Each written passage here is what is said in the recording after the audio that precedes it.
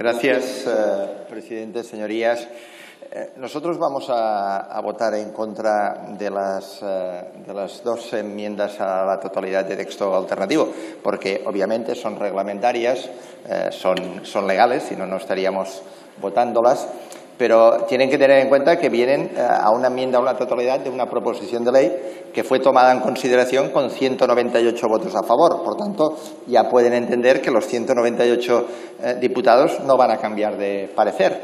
Y la verdad es que si uno analiza estas enmiendas a la totalidad de texto alternativo, se hubiesen podido tramitar perfectamente como unas enmiendas al articulado.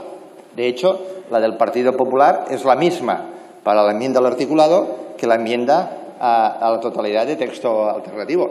Por tanto, lo único que estamos haciendo con esto es retardando el debate eh, que realmente nos, eh, nos, interesa, que es el si se aprueba o no se aprueba este texto eh, legislativo.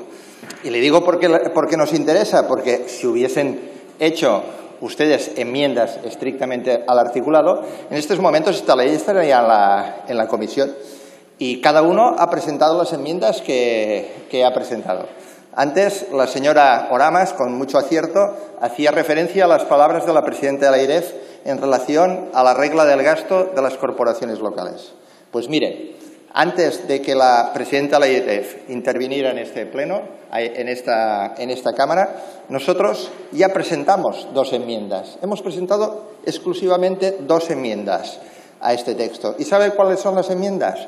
Una disposición transitoria quinta nueva y una disposición transitoria sexta nueva. Disposición transitoria quinta nueva. La regla del gasto para las corporaciones locales en el ejercicio 2020 y 2021 no será de aplicación. Coincidencia absoluta, supongo que todos podremos estar de acuerdo y se podrá aprobar rápidamente en la comisión. Disposición adicional sexta nueva.